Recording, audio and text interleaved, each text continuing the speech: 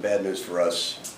Uh, The good news is, after watching the tape of the game, I was really pleased with the way Wayne Blackshear played at the fourth spot. Um, He has a much, much easier time going by power forwards off the bounce, and just all around gets more production playing that spot because we play, we play on the perimeter mostly with, with Wayne playing that spot.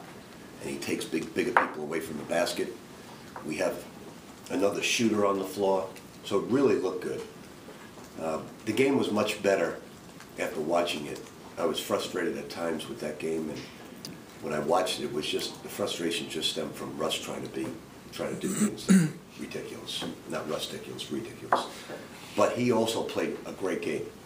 You know, take away his two behind the back, um, teardrop, air ball, and the other turnover, he played a great game. Really did play one of his better games because he really got after it defensively, bothered people, and the- I was very surprised when I watched that game how much better it really was.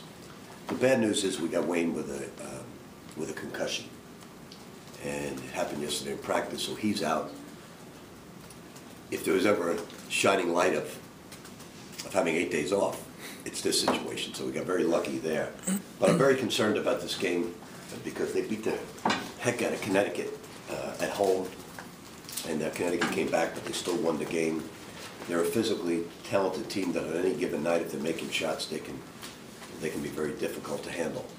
So we've we've got to somehow get other people to step up in this game. I, I really don't know who that's going to be. I'm not sure who's going to start or not start. This just happened all of a sudden.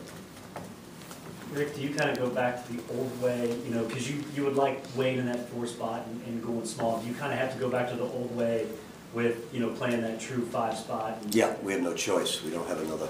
The problem is, you know, if, if Montrez gets in foul trouble, we're real, we really have major problems in this basketball game.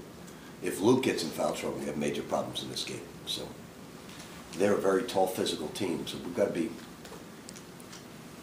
I'm not sure how we're going to attack them yet, because we're going to try some different things in practice, and so we'll see what happens. What happened to Wayne? He got, uh, Akoy was being trapped in the corner, and Akoy's, I think, elbow hit his head.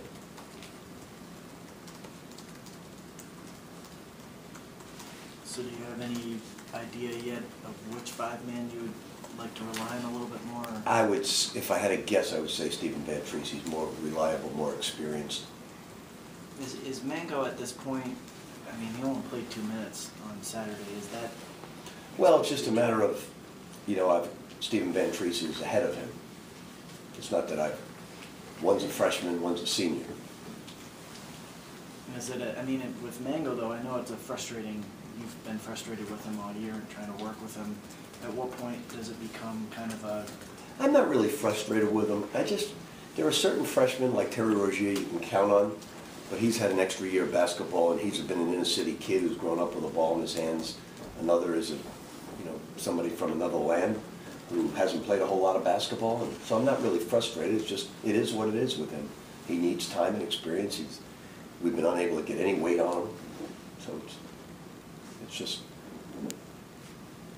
it's just a freshman who's physically a little weak right now. You, you do have eight days. Of, well, is that kind of a day to day thing, like normal concussions? I, I or? think Wayne's going to be fine. I don't think this is a serious concussion. Mhm.